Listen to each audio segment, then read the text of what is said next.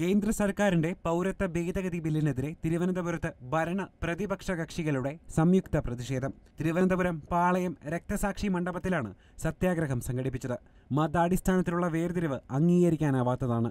ഭരണ പ്രതിപക്ഷ സംയുക്ത പ്രതിഷേധം ഇതാണ് കാണിക്കുന്നതെന്നും മുഖ്യമന്ത്രി പറഞ്ഞു.